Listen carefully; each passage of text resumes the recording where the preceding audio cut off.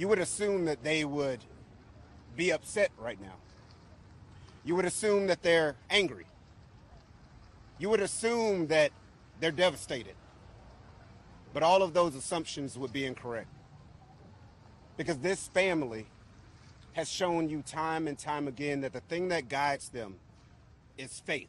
The beautiful thing that one of the brothers just told the entire crowd while he was talking is that this pain definitely hurts his family. But it would hurt any color family. And of course, this happened once again to an African American male by a police officer.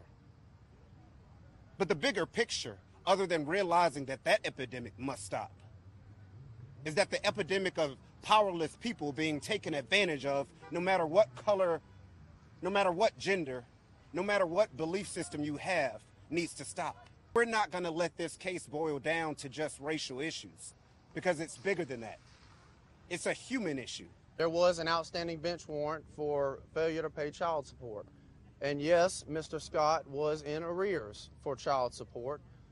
Um, and yes, it is our belief that at the time you see him uh, run away on dash cam, it's because he did not want to go back to jail for his failure to pay child support because it had happened before, more than once.